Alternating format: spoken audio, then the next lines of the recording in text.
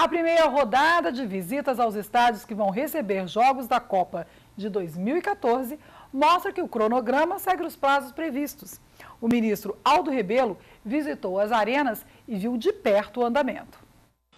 De acordo com o Ministério do Esporte, as obras estão dentro do cronograma previsto, algumas até adiantadas. O ministro Aldo Rebelo visitou as arenas e viu de perto o andamento. A Copa do Mundo não tem segredos, não tem mistérios. O que ela exige é muito trabalho para que as obras sejam entregues e para que nós tenhamos o êxito no cumprimento dos nossos compromissos e das nossas obrigações, não apenas com os estádios, mas com obras de mobilidade urbana, aeroportos, metrô, hotéis. Tudo isso exige muito trabalho do governo.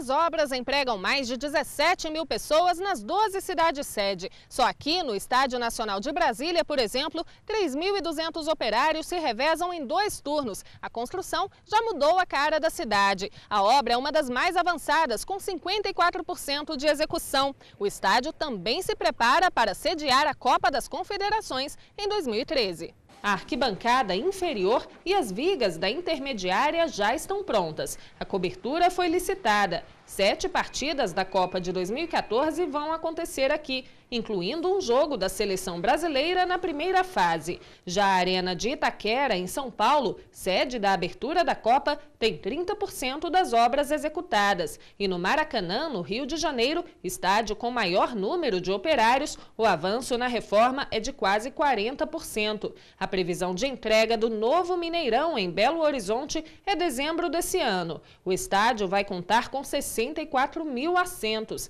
A Arena Pantanal, em Cuiabá, Mato Grosso, alcançou 43% do total previsto. 650 operários trabalham na obra. A Arena da Baixada, em Curitiba, Paraná, está com 52% das obras de adaptação executadas. Uma das mudanças é o aumento da capacidade para 42 mil pessoas. No Castelão, em Fortaleza, 60% das obras estão concluídos. A previsão é que as cadeiras comecem a ser instaladas em setembro. O portal da Copa traz ainda informações sobre os estádios de Natal, Salvador, Manaus, Porto Alegre e Recife. Os dados são atualizados mensalmente.